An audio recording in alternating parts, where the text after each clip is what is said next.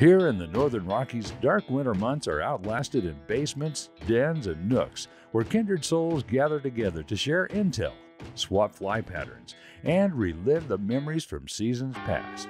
This gathering spot, known locally as the February Room, is the inspiration for this podcast. No matter the season, the door is always open to those with a fly fishing story to tell. Brought to you by CD Fishing USA, the North American distributor for composite development fly rods and accessories. 40 years of Kiwi ingenuity and graphite technology now available at cd-fishing.us or your local CD USA dealer. Follow us on Instagram, YouTube, and Facebook. And remember to go fishing. Here's your host, the Karnoffs, and this is the February Room. A fly fishing guide can use the barter system for everything from wealth management to root canals. And I know many that accompany their clients on exotic locations to the far corners of the globe. Occasionally, we even get the chance to guide a fellow guide. In addition to the angling skills that they bring to the boat, a guide is going to provide some inside information about another region or some tackle or technique tidbit that I wasn't privy to.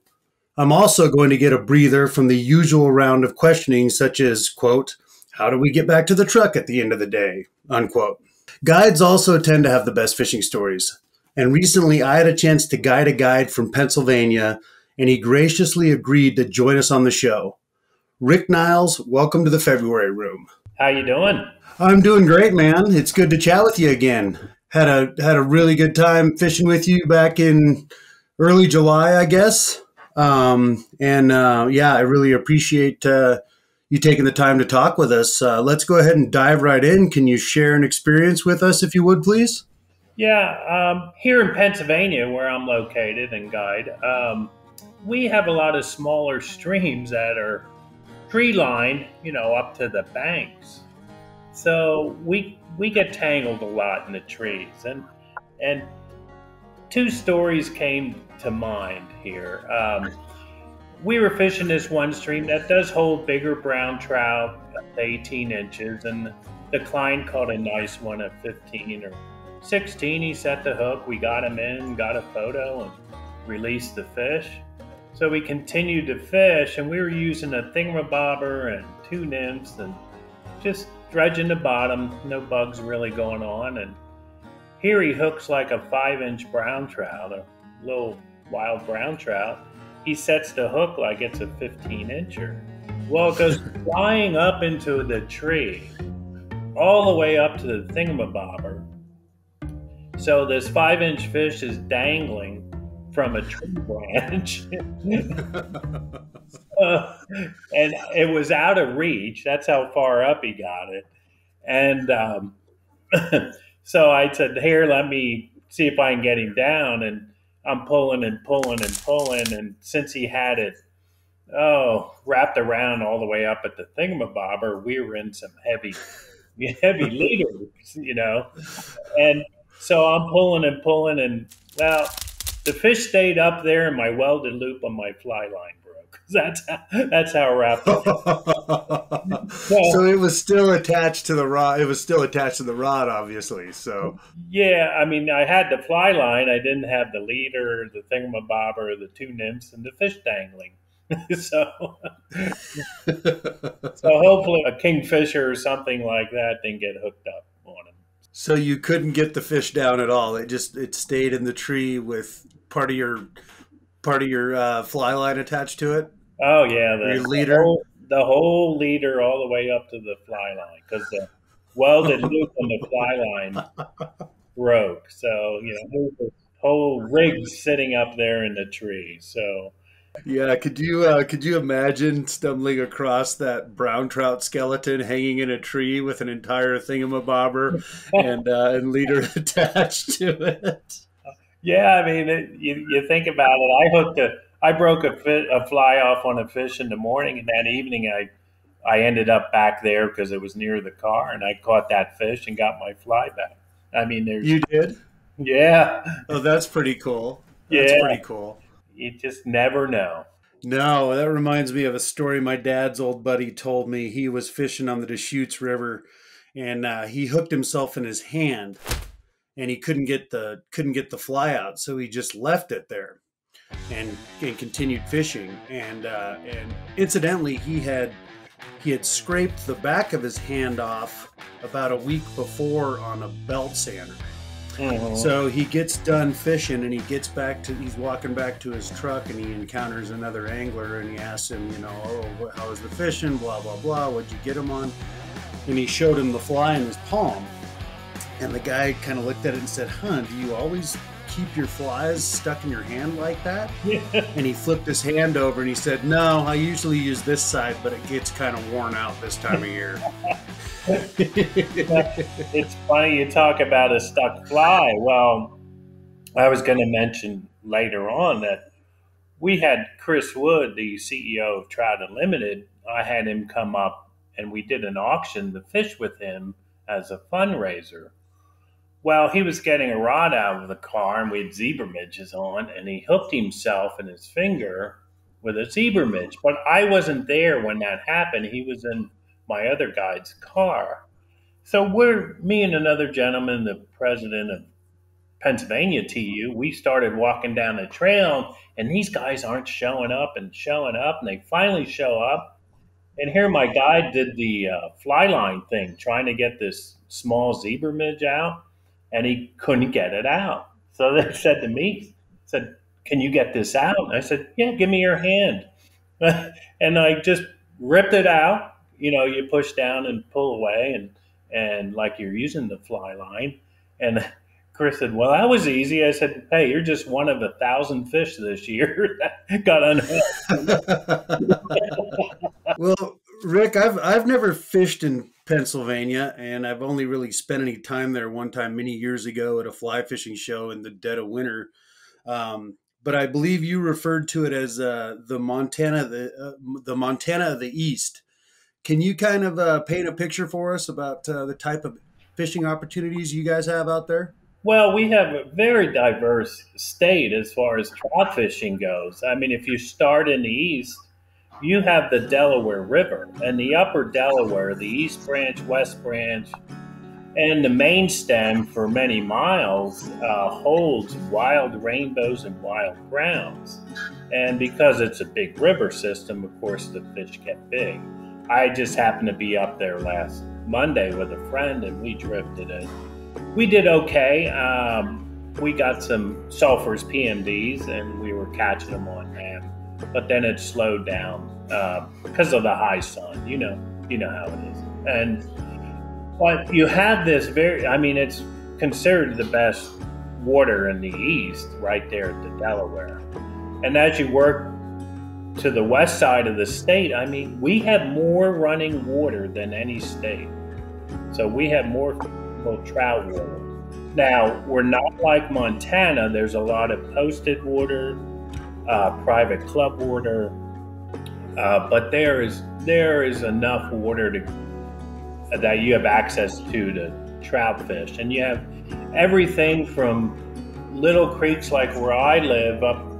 I live in the headwaters of the one stream, and there's five streams that form it, and they're only eight to ten feet wide, and so you can fish for wild browns in there and brook trout, native brooks. Um, uh, wild rainbows are more in the limestone creeks. Um, you will have wild rainbows, but you do find them every once in a while. But as you get to central PA, as you work your way over, you have the Lehigh River, you have the Lackawanna River up in the northeast, uh, Lehigh in the Allentown area. Then you have the Susquehanna, which is an unbelievable smallmouth fishery, that in the Juniata River. Um, and then when you hit State College, right into the center of the state, uh, that's where I do most of my guiding. some of the best trout water in the East Coast is out there. Penns Creek, Spring Creek. Uh, Spring Creek has the highest population of trout, wild trout, in the state. So, and there's 17 miles of fishing out there. So, then you have the upper Pine Creek Valley, the Allegheny River. And as you get down towards Pittsburgh, it kind of fizzles out, but then you get up towards Erie and you actually have some uh, tributaries where salmon and steelhead run out of the lake. So, I mean, it, there, there's a lot of fishing to be had here in Pennsylvania. And I draw people in.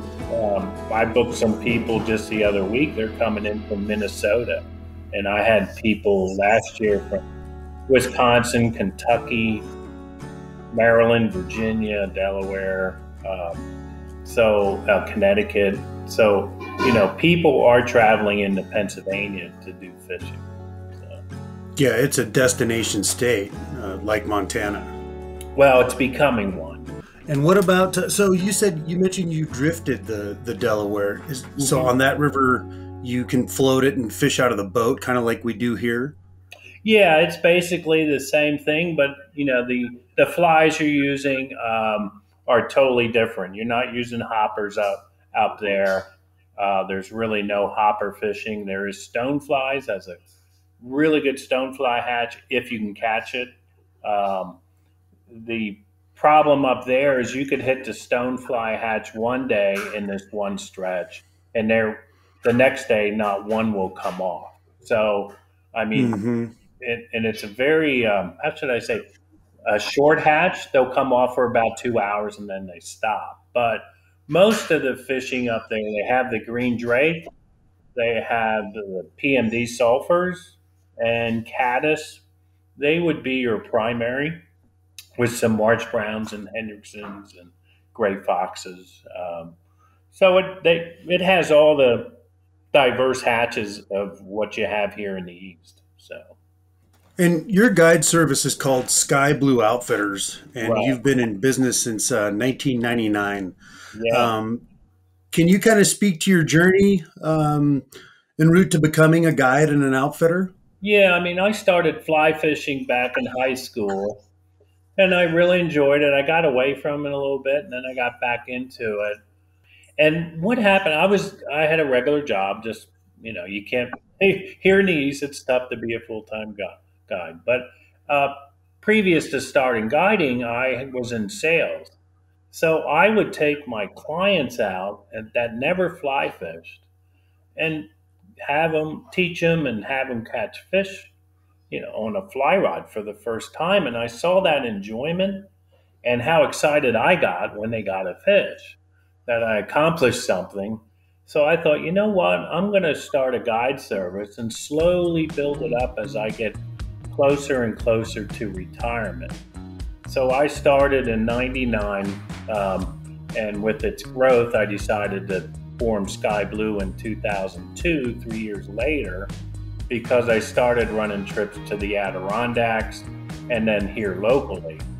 Um, and one thing that sets us apart is that we have a seven uh, seven member staff, and we all have different skill sets. Like I'm known for dry fly fishing. Dave Allbaugh's known for he's considered the best wet fly guide in this state. Uh, Dave Rothrock, casting instructor, uh, champion, won casting competitions, and he's he's been in uh, competitions with George Daniels as partner, and they have won uh, Euro nymph. Well, they were Euro nymphing, tight line, and drop shotting, and they did very well and won the tournament. Um, then I have Brian Shoemaker. He's my smallmouth guide on the Susquehanna. I have Taylor Helbig. He's uh, he's a nymphing guy. He's an all-around uh, fly fisherman, but he was taught by George Daniel on how to nymph, and um, so he's really dialed in on that that method.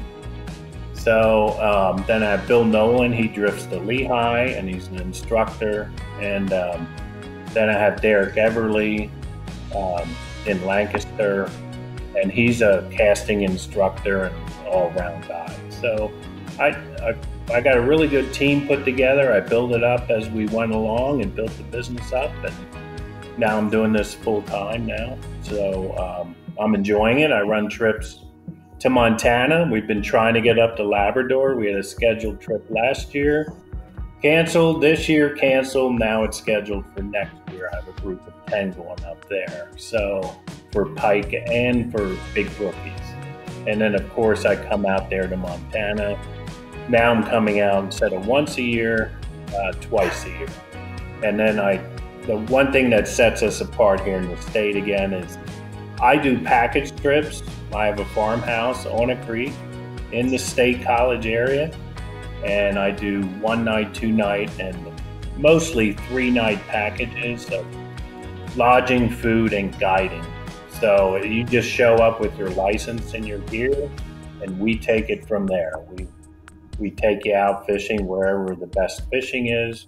Within the hour, we got 20, 25 streams we can fish. So there's never been an issue with us finding fishable water. Cool. And is a guide and an outfitter the same thing in Pennsylvania as far as licensing? No, uh, there is no outfitter license. You're a guide. So you just need a guide license. And um, of course, you can work independently or with a shop or something. There, a guide is not required to work for an outfitter like it is in Montana. Gotcha. And now a brief message from our sponsors. High performance graphite shouldn't break the bank. Check out the Tamer brand of fly rods for composite developments, available in 5, 6, and 8 weight. An unbelievable value at $199, Tamer 4 piece fly rods deliver smooth cast and precise presentation. Our Tamer kits include a Fly Lab pulse reel and weight forward fly line. A river ready kit for under 300 bucks. Go to cd-fishing.us or visit a CD dealer in Idaho, Montana, or Wyoming. And remember to go fishing. Can you tell me about um, some of your work that you've done with Trout Unlimited? I know you've been really involved with that organization for, for quite a while, and you recently accepted a position um, uh, for a new post with TU. Yeah. Um, yeah, I've been involved with Trout Unlimited, I don't know, 30 years maybe here locally. Um, Pennsylvania has the most members and the most chapters of any state. Uh, so it's a very active state. One of the key things they try to do is is do stream improvements to create more oxygen and channelized water to keep it deeper and cooler, and also mine recovery. You know, there's a lot of mining here in the eastern and northwest side of the state. Um, for coal, and so there's a lot of mining acid, and that's been a, a key focus on uh, trying to clean that up, and it's working out. Uh, it just takes time and money to get it done. So, as far as my involvement, we're a Trout Unlimited business, and we were honored with that you know, eight, ten years ago, 20, I can't even remember. So, um, and then they elevated us to a gold level uh, because of our fundraising and donations and you know support we give them. And yes, I um, and like I mentioned earlier, Chris Wood, the CEO, he I've been after him to come up and fish, and he wanted to, and then we he finally decided he could get away last year, and we did it as a fundraiser. We auctioned off uh, fishing with Chris a couple nights, a couple days, and a couple nights of lodging, and we raised a good amount of money um, for Pennsylvania Trout Unlimited. So, and then you said I accepted a position. Yeah, um, we're just working out the details, but I am now going to be vice president of the Southeast region for Trout Unlimited, which I will not oversee. I will support seven chapters in the Philadelphia market area, Philadelphia, Allentown, Reading. So that southeast uh, corner. So I'm I'm looking forward to that. Um, I have more time now, and things are going good. So. Well, awesome. Well, congratulations on the new role. Um, I'm surprised that our paths never intersected before. Uh, I produced the TV show for TU for four or five years, and we did uh, multiple episodes in Pennsylvania. But I never got to go on those on those particular shoots. I know we did one on Spring Creek, um, the Letort, and if I named off the people that we worked with, I'm sure you recognize those names. But uh, mm-hmm. uh, somehow, somehow we missed each other out there. But I'm gonna have to come out there and and go poke around with you one of these days. sounds like really interesting water. Always looked like really an interesting place to go spend some time and, and road trip it. Yeah, the only issue is like now, I mean, trout fishing is very limited to either limestone creeks or springs bubbling up out of the ground or uh, cold water dam releases. So right now it's a little slow. I was just up in the mountains this past weekend. I was fly fishing for largemouth. So um, cool. Just throwing frogs around, you know, lumber and and lily pads and things like that, trying to get some largemouth. So, so right now it's it's kind of slow, but the smallmouth fishing is is all turned on with poppers and clouser minnows. Oh yeah, that's that smallie fishing is so much fun and large. I love bass fishing, all bass fishing. Um, my wife just sent me a photo last night. She's she's at the family cabin in Wisconsin, and um, and uh, she caught a pretty nice bass last night. She was they're they're smart in this lake that the cabin's on. They get they get fished to quite a bit. Um, and uh, the her godfather who lives on the lake gave her a fly at dinner time, and she went out and caught a nice fish on it last night. So she was she was thrilled. So I'm looking forward to to getting out there here in a few days and and targeting some bass. They're they're uh, they're so much fun. They're just a smallmouth are a great game fish. Oh yeah, they're they are fun. They fight. So it's and like I said, the Susquehanna is probably well, it's had its up and up and downs over the past ten years. There's been some issues there, but um, last year was kind of a slow year. This year's been very good. Two years ago, 2020, it was very good. Last year, for some reason, it was it was just not fishing as good. Uh, we think a lot of the bigger fish moved up to the Juniata River, uh, but now they spread back down into the Susquehanna. So fishing's good. And do they coexist with the trout pretty well? Well, there's no trout in the Susquehanna or the Juniata. Now there's the little Juniata River, but that's a trout river. Um, the Little J, that's the one that you refer yeah, to as the Little J. Correct. I got you. I got you. Yeah, that's my one guide lives right out there on the Little J. So um, we're spread around the state, so we can cover everything. But um, yeah, there, like I said, there's so much fishing. I mean, just within my house here, and I live in a well, I live out in the country, but I live between Reading and Allentown. I mean, within an hour, I could, oh my word, probably 40 trout streams. Holy cow. I would say five within a five mile radius of my house. And, and they're small. They're small. You're not going to get 20 inch fish out of them. You're going to get six to 11 inch every once in a while, 12 to 14. But um, uh, there's there's just so much water here now. Again, they're kind of warm right now. They're a little low, so you just let them you let them go till till the fall. Right, right. So Allentown could make an argument for Trout Town, USA. It sounds like.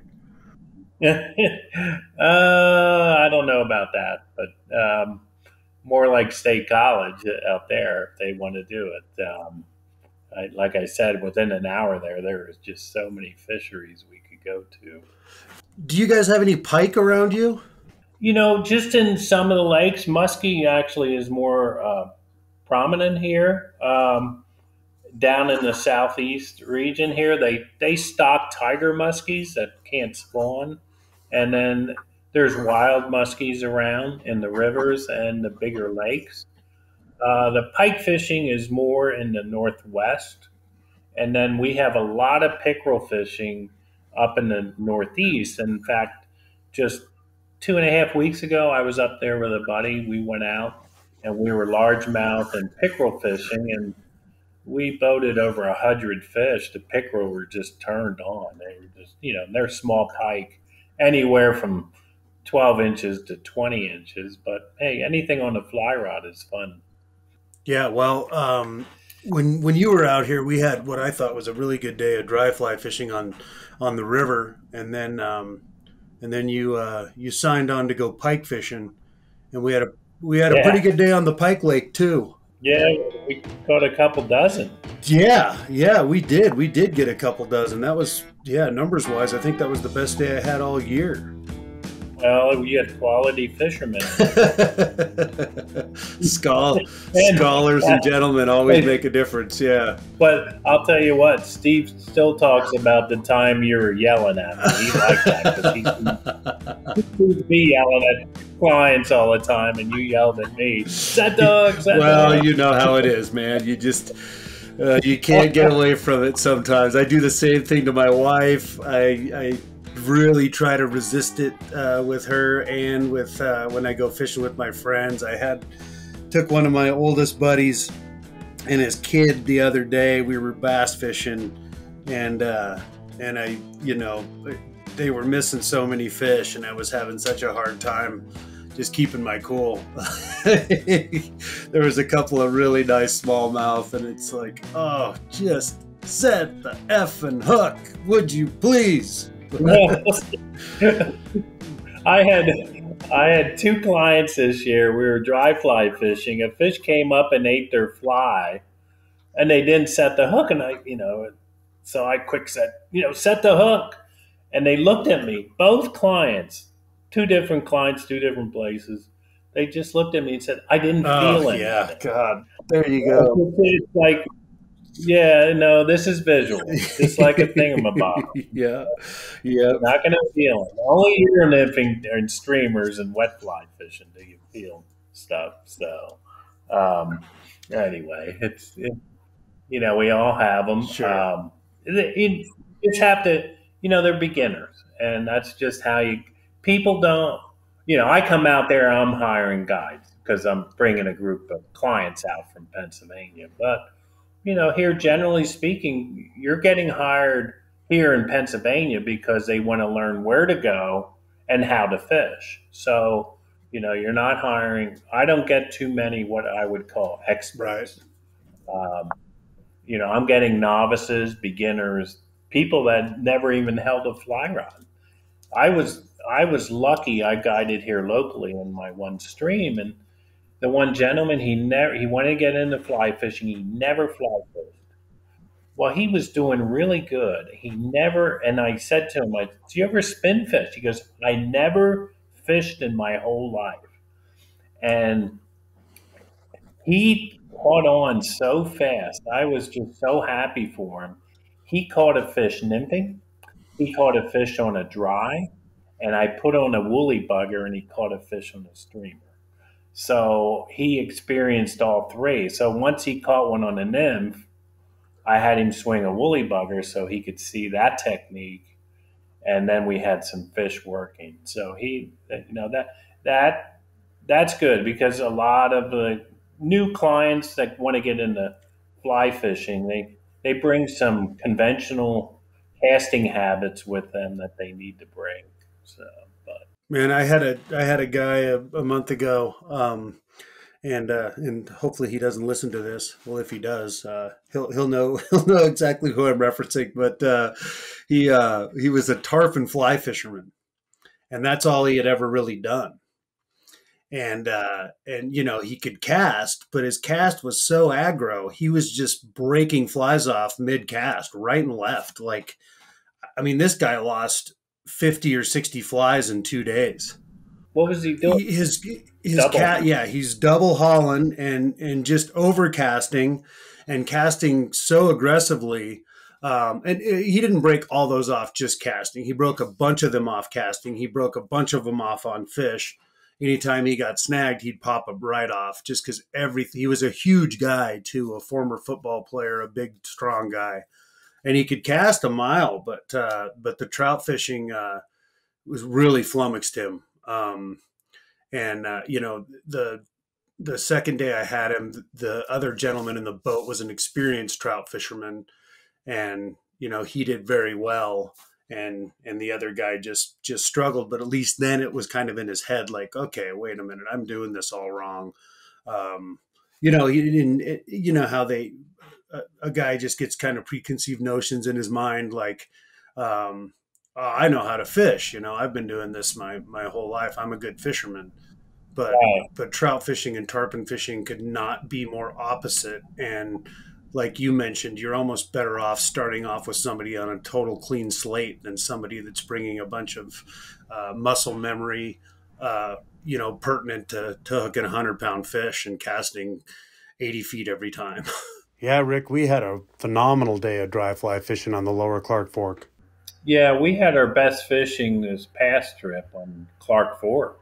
So I I've always been a big fan of Clark Fork. So whether it's you know above town or or below town, I never fished you know in town, but we had uh, we caught our biggest fish and our most big fish on Clark Fork. And and a lot of that's a product of the work that you know TU and other groups have done um, to restore the tributaries and and clean up that river and uh, just you know overall improve the cold water habitat down there. The the west slopes in particular, that native native species of trout that requires cold clear water. Yeah, and you know we have that issue here. You know, the headwaters to me should be taken care of first because if you don't solve the problem in the headwaters, you're never going to solve the problem in the main waters. So, um, you know, if you need to keep cows out of the headwaters, uh, if you need to do deflectors to get more oxygen for the spawning and just for summer habitat, you know, things like that. So it's, um, you know, that's one of the key things is getting the headwaters right and then the main water that's formed by the headwaters, everything will fall into place. So, Well, Rick, I've taken up enough of your time. Um, how can folks contact you and uh, and Skyblue Outfitters? What's the best method? well, I mean, we have contact forms on the website. You can see what we're all about on the website. So it's skyblueoutfitters.com. Um, it's not hard to find us. Um, my name's Rick Nyles, N Y L E S. You can just Google my name, I'll come up. So um, that would be the easiest way. I can give you my phone number. It's 610 987 0073. And um, you can give me a call and then we can uh, have a conversation. Well, great, Rick. Well, thanks again for chatting with me today, and um, I look forward to seeing you here in a month or so uh, over on the Missouri. Yeah, I hope. Well, I'll get to drift with you one day. I'll make sure. So. Go to thefebruaryroom.com where you can access a complete library of our podcast and read more about our guests, their fishing stories, and favorite fly patterns. We're always looking for exceptional fly fishing yarns, and if you have one to spin, shoot us an email at info at thefebruaryroom.com. The February Room is always free, but if you feel like throwing a nickel in the pond, we appreciate any additional listener support. For companies and individuals interested in sponsorship opportunities, please contact us for our media kit. Thanks for stopping by the February Room, and we'll see you down here next week.